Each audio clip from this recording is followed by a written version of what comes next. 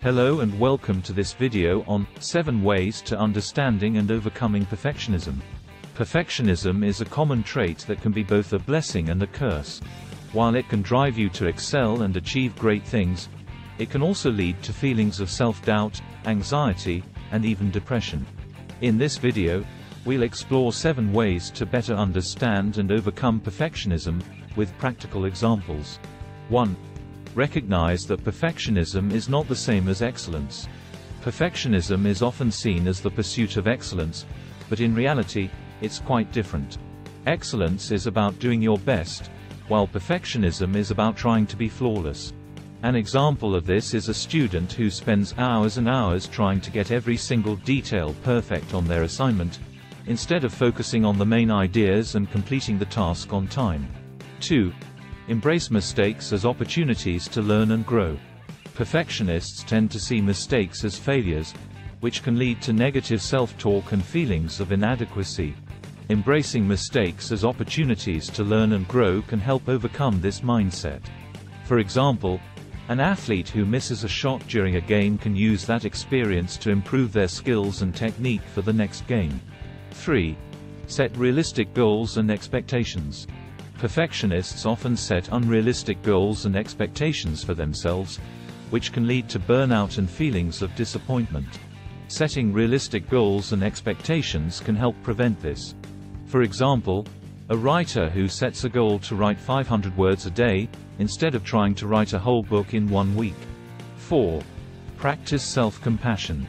Perfectionists often hold themselves to incredibly high standards and can be very hard on themselves when they fall short. Practicing self-compassion can help break this cycle of negative self-talk. For example, if you make a mistake, instead of saying, I'm such a failure, say, I made a mistake, and that's okay. I can learn from this and do better next time. 5. Challenge perfectionistic thinking. Perfectionists often have black and white thinking, where things are either perfect or a failure.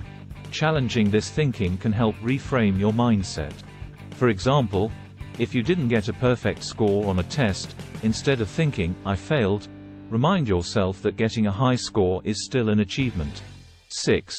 Let go of control. Perfectionists often have a strong desire for control, which can lead to anxiety and stress when things don't go as planned. Learning to let go of control can help alleviate these feelings. For example, if you're planning a party, instead of trying to control every detail, delegate some tasks to others and trust them to handle it. 7. Seek support. Finally, seeking support from others can be helpful in overcoming perfectionism.